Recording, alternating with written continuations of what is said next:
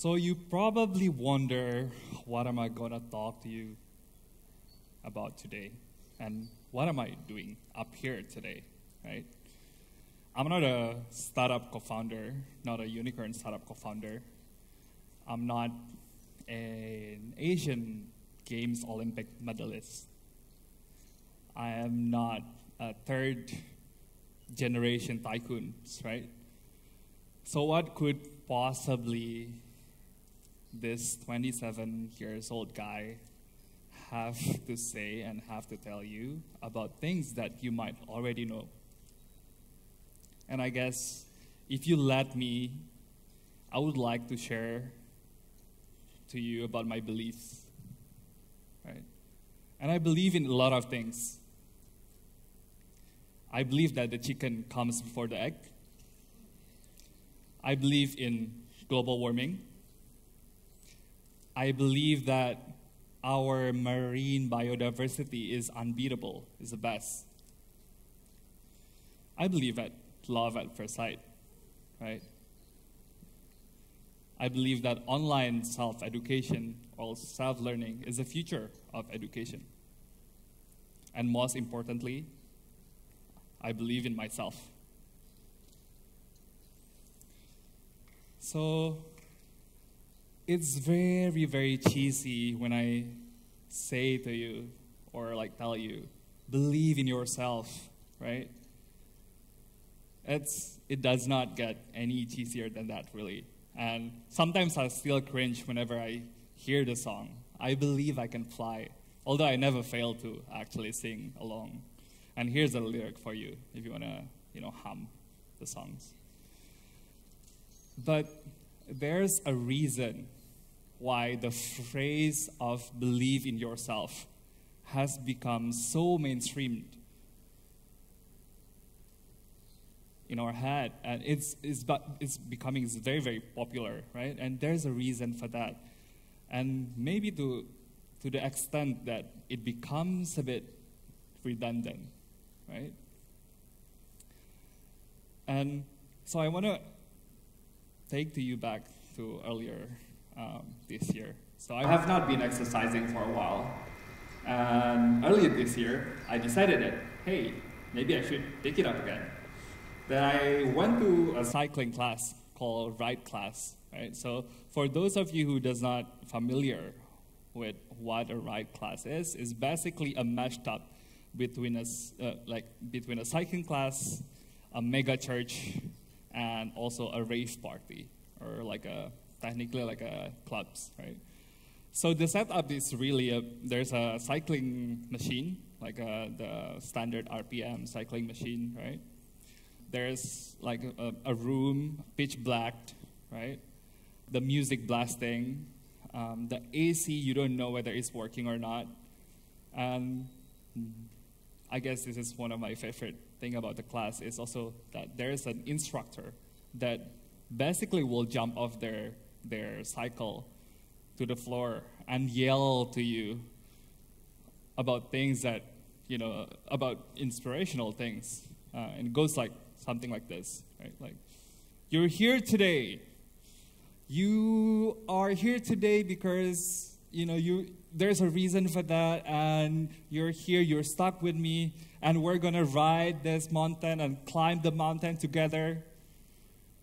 You are here because you're freaking fearless. You're here because you can basically own everything in this world. You can conquer the world. And it goes and on and on until the point that it actually numbs your head and numb, numbs you to the core, right? That's with the music blasting, the yelling about the inspirational quotes. And I found myself actually shedding a tear when I hear um, one of the instructor yelling. Um, because it just hit me, you know. It, like, it hits me that I realize that I am physically strong to complete the workout.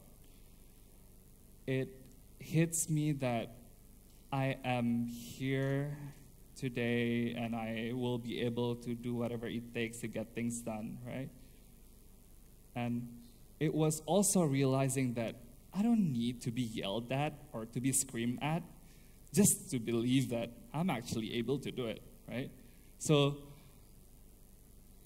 it's, it's very funny because, you know, you, you're there and the instructor was yelling at you and sometimes you just like look at them like, like really? Are you gonna scream at me that much? Are you gonna scream at me all of this thing? No, I don't need that, right? So I realized that I don't need to be screamed at just to believe that, you know, I'll be able to do it, right?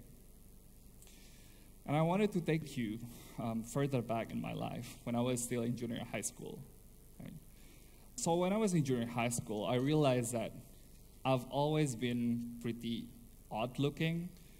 Um, I've always been tall. Um, I am now six foot one or 185 centimeters.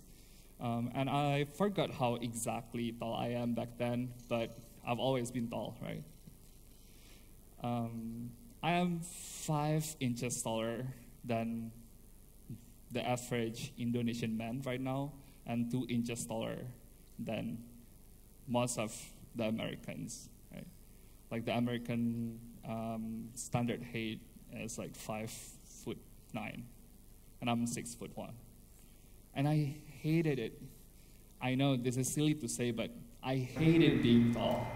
I hated the fact that I'm tall, and I felt like people always looking at me and have always been scrutinizing me and finding my flaws, and I'm always visible, and people can see me from afar. You know, I always hated that, right?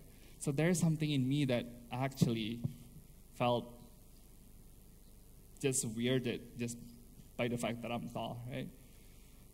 So moving on to senior high school, I decided that hey, maybe I should just go to like a like a like the school with the best basketball team there. So I managed to get into the the school with the best basketball team, hoping that I would finally fade it into the background, right? I finally will blend in with all of the tall peoples, and people would not notice me as much, right?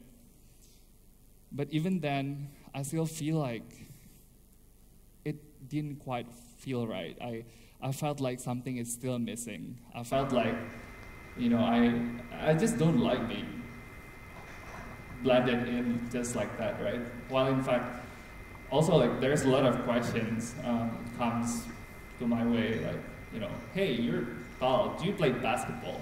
Right? Well, in fact, I did not play basketball. I don't, I'm not part of the basketball team. Well, in fact, also, I'm part of the, basically the art group, like the creative art group. And I'm also part of the bio biology Olympiad group. I'm also part of like the um, school committee, government, uh, uh, school committee board, right? So something was still missing, right? And it was not until my dad actually asked me a question when I was still in 12th grade. Um, and my dad, who by the way did not finish his high school, asked me whether I want to continue my, um, my, my study to university, right? Hey, do you want to, so, so what's your plan? Do you want to cut, do you want to study uh, continuing to university or do you want to basically just graduate and help me with my business, right? Because he was an entrepreneur. I think he's just doing fine. And, you know, I realized that times after times in our life, we're pushed to constantly make decisions, right?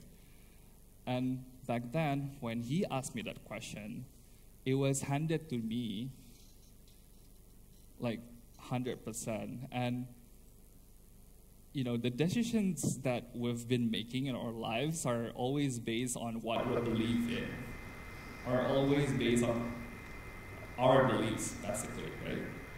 And a lot of people are actually, and me being one of them, are where we are in our life because at one point in life we decided that we're going to believe in something. And at that point in my life, I believe, and looking back, you know, to my junior high school and primary school, I, I felt like I believed that I did not live up to the person that I want to be, right? So I, I told him that yes, I want to continue my study. Um, this is my plan. And he understood that. And it's really based on what I believe, what I want to be, right? So this is the two things that comes to my mind on the word of actually I believe in me, right? First one is lie. A lot of times in our life, we're talking to our head, we're filling our head with basically like false beliefs that we're thinking, oh yeah, we're not good enough, or we are not gonna be able to do that because maybe it's too late for me to do that, right? Well, it's actually something that is just falsely inherited in like our head by ourselves, right? We're, we are lying to ourselves of the fact that we're not going to be able to do something, while in fact you didn't know. That's, some, that's a narrative, that's a lie that you created for yourself, right? And this is something that, you know, we've, we should get rid of, right? We, it's, it's okay to be your own biggest critic, but on the other side, also be your biggest supporter. Be your biggest cheerleader. Push this lies that you keep telling to your head that you cannot do it, that you're not worthy of something, that you're deficient of something away from your thoughts. Because it's very easy to basically put this in in our head. Right? And the second thing that comes to my mind of the word I believe in me is be me.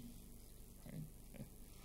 It's very cliche to say also like be yourself, like be yourself, like and um, throughout my life, I think I realized that we're all here for different reasons. There's a lot of things that an individual can achieve or basically, you know, what they think about life itself, like how they are actually defining life, how they're defining themselves, how they're defining happiness, how they're defining, you know, dreams. It Could be like many, many things, right? And what's important is for you to remember that you're there to create you're in this life to create your own legacy. So always, always prioritize yourself to make that decisions, right? Be yourself. Like, if if you're weird and you're tall looking, uh, like you're you're odd looking or whatever, just be confident about yourself, right? And we as a humans, um, we share a lot of things. Um, we share the we share the fact of humanity, of course, and what comes with it, dreams, fears, wants, like beliefs. But we also don't share like many things, like race, for example, religion, education level, gender identity, marital status, sexual orientation, and a lot of things, right?